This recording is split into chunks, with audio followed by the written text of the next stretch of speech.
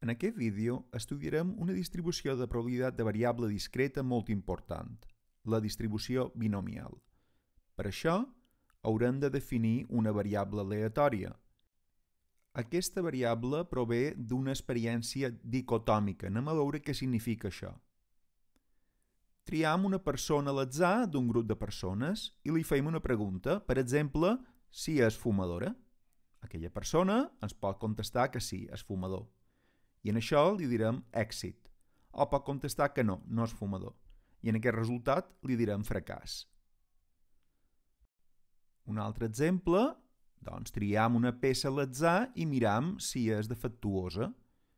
Que pot passar que aquesta peça sigui efectivament defectuosa, tenim èxit, o que no sigui defectuosa i tenim fracàs.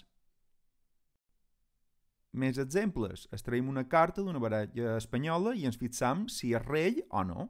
Si aquella carta és rei, doncs que han tingut un èxit, i, i si no és rei, fracàs.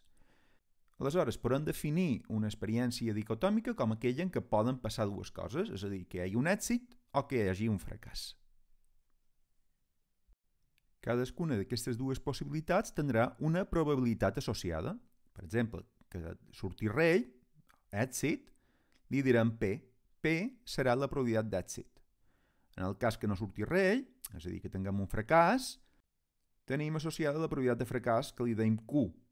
Però com que tenim una experiència dicotòmica, només poden passar dues coses, eh, la probabilitat d'una serà 1 menys la probabilitat de l'altra. Per tant, Q serà igual a 1 menys P, com a succés contrari. Ara, en comptes d'extreure una carta i mirar si és rei, repetim l'experiment, és a dir, és la repetició d'una experiència dicotòmica. Per exemple, suposeu que extraïm quatre cartes, anem a suposar en reemplaçament, és a dir, les tornem a introduir, d'una baralla espanyola i ens fixam o comptam quants de reis han sortit. Aquesta serà la nostra variable aleatòria discreta. Si raonem, de quatre cartes pot ser que n'hi hagi 0 reis, 1, 2, 3 o que totes siguin reis, és a dir, 4. Per tant, la nostra variable anirà de 0 fins a n, que és el nombre de repeticions, com veus. La pregunta que ens feim ara és quina és la probabilitat de cada cas, és a dir, quina és la distribució de probabilitat de la nostra variable x. Per fer una mica de spoiler, la variable aleatòria que descriu el nombre d'èxits que hi ha hagut en la repetició de l'experiment segueix una distribució binomial. I això passarà sempre que tinguem una experiència dicotòmica, en dos casos, amb P, probabilitat d'èxit, i Q, probabilitat de fracàs, que aquesta experiència sigui repetida a vegades, que les repeticions siguin independents, per exemple, en el cas de les cartes, seria obligatori que tornéssim a ficar la carta que havíem estret, perquè si no ho fem, les repeticions serien dependents, i eh, si definim la variable aleatori amb x el nombre d'èxits en n repeticions, que va de 0 fins a n, sabem que aquesta serà una variable descrita per una distribució binomial que indicant d'aquesta forma. BPN, B de binomial, P probabilitat d'èxit i N repeticions. Ara ja sabem quina distribució segueix aquesta variable aleatòria, però ens interessa tenir una expressió, una fórmula per poder calcular aquestes probabilitats. En particular, volen saber la probabilitat de que hi hagi k èxits amb n repeticions. Per exemple, si traiem 4 cartes, doncs que hi hagi 3 reis, per tant seria n4 k3. L'expressió d'aquesta probabilitat ve donada per aquesta fórmula, és a dir, la probabilitat de que hi hagi k èxits és un nombre combinatori que ho indicat d'aquesta forma, n sobre k, multiplicat per la probabilitat d'èxit elevat en el nombre d'èxits, per q, probabilitat de fracàs, elevat a n menys k, i n menys k és el nombre de fracassos que hi ha. Aquest nombre combinatori, com veurem ara, descriu el nombre de formes possibles d'obtenir k èxits amb n repeticions.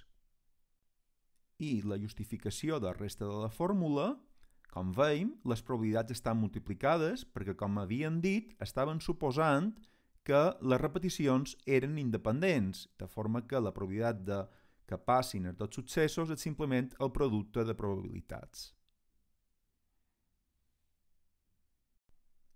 A la pràctica, utilitzarem la calculadora per obtenir el valor dels nombres combinatoris. Per exemple, imagineu-vos que necessitem calcular el nombre 4 sobre 2, és a dir, de quantes maneres puc obtenir dos èxits en quatre repeticions. D'acord? A un nombre combinatori sempre obligatòriament n ha de ser major o igual que k, si no la calculadora no obtindrà cap resultat. Eh? Per tant, aquest nombre sempre ha de ser més gran que el de, que el de baix. En la calculadora utilitzarem aquesta funció d'aquí, que és ncr. Com se fa? Primer pitjam 4, després hem d'accedir a Shift, dividir, ja ens apareixerà el símbol C i després posam el nombre de baix, pitjam 2. Igual, i ens retorna el valor d'aquest nombre combinatori. Aquest nombre val 6, per tant podem substituir tot això per un 6. Anem a fer un exemple complet. Eh? Diu, extraïm quatre cartes en reemplaçament d'una baralla espanyola i comptam el nombre de reis. Demana quina és la probabilitat de que surtin exactament dos reis. Identificam que aquesta variable aleatòria ve descrita per una binomial, escrivint la fórmula i volen saber la probabilitat de que x, nombre d'èxits, sigui igual a 2. Això serà igual a 4 sobre 2, n sobre k. Eh? La probabilitat d'èxit, és a dir, tenim 4 reis de 40, per tant això és la nostra p. Quant d'èxits? Hi ha d'haver dos èxits, eh? I que no sigui rei tenim 36 cartes de 40 elevat a 2, que és el nombre de fracassos. Hem de calcular el nombre combinatori, ho hem fet abans, això dona 6, i simplement acabar de multiplicar per aquestes potències. Si ho fem, el resultat és que la probabilitat de tenir exactament dos reis, eh, en treure quatre cartes, és de 0,0486. El que es tracta que valoreu és la importància de la distribució binomial, perquè aquest càlcul, que l'han fet molt ràpidament, hauria estat molt més feixuc.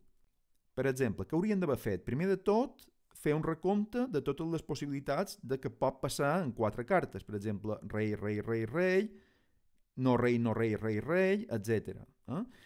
I veuríem que hi ha un, dos, tres, quatre, cinc, sis casos que poden sortir dos reis de quatre cartes. Això són precisament el resultat del nombre combinatori 4 sobre 2 que havíem obtingut molt ràpidament.